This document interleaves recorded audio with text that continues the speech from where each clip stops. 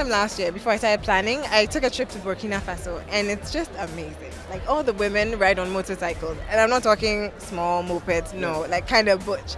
But what's what's what's what's interesting about it is how they're perched on that. It's so elegant, so poised, still in their wrapped cloth, and so. And I thought, you know what? How do we channel this in our collection and still make it modern? And and so what I got from that was functionality. It just needs functional. She needs to be able to throw her leg over that bike Yeah. and go.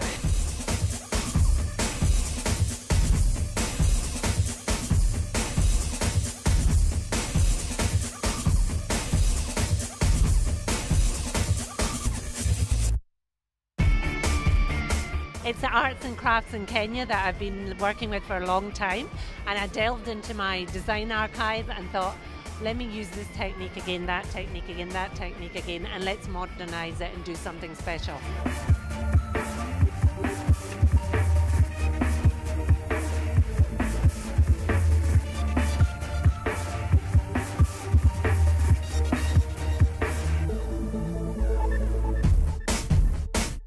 I was inspired by multicultural. It's like a multicultural, eclectic mesh, traditional um, folklorism in West Africa, and with a mix of, you can see a Asian re- reference in there. Also, I wanted to explore the similarities between the traditional African dancers, you know, with the trimming with the raffia at the bottom of the pants, and also on the ankles and the and the wrists.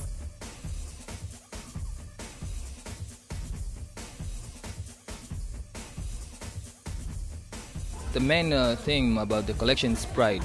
Pride means, you know, we as African, we need to be proud of ourselves, you understand? And this is because our father of nation, Mwalimu Julius Kambarage Nyerere, who fought for us so we can be independent and we can make our own history. So this is what we make history now. Like Africans to the world.